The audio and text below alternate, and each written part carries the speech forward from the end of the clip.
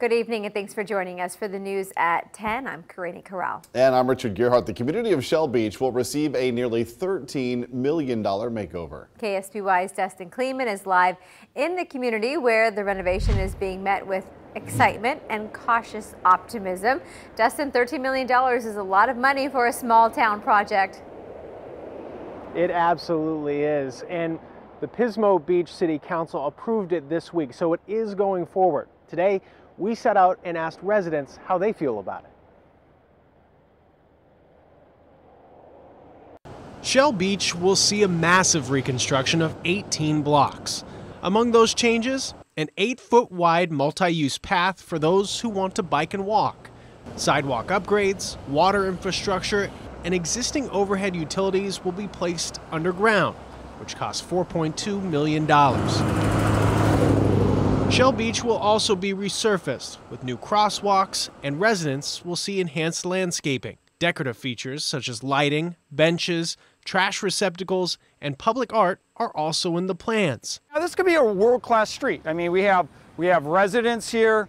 It could be a place where it's a destination. I like the idea of them putting the utilities underground. I think that's a great idea for the view, for a beach view.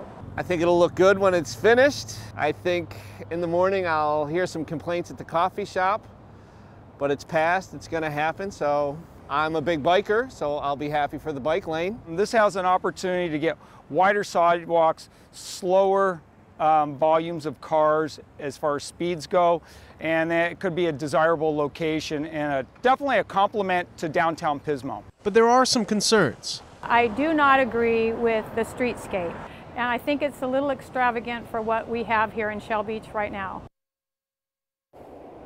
Now to help you understand how this all racks up to $13 million, Pismo Beach City Council is being very transparent in the way they're presenting this.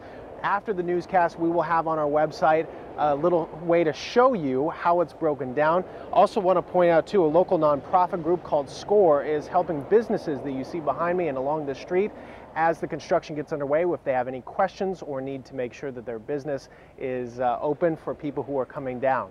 Live and local in Pismo Beach, I'm Dustin Kleeman. KSBY News. All right, Dustin, thank you. A community celebration on August 24th will help kick off the project.